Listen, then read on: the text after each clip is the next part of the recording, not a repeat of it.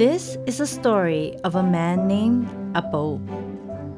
Apo is a simple man who doesn't know a lot. So, to him, even a simple piece of paper can become an amazing discovery.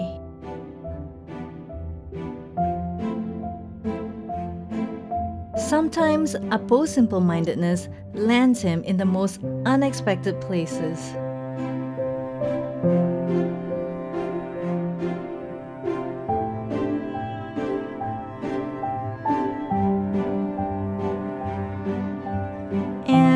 Sometimes it gets in the way of those around him.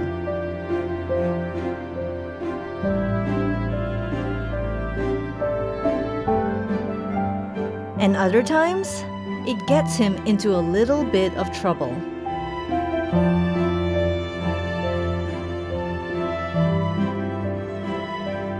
Day after day, he tries to complete his goal.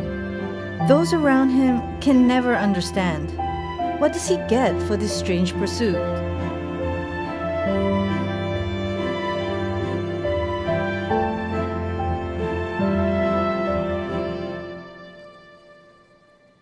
Hey, hello. Tak ada kerja wah? Apa ini book reading? Ah. Hey, you sudah tua. Apa pasal belajar ini English for five years old? Sini kutip paper lama saja. Tak apa ya English lah. He doesn't gain fame, wealth, or success.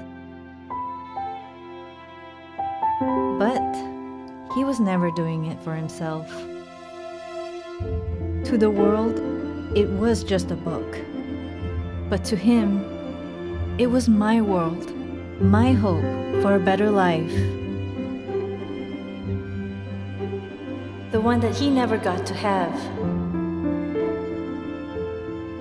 You see, my pa never had much to give. But though he could afford little in material wealth, he gave me the greatest treasure of all education. A simple gift that has opened doors for me to dream bigger and reach further.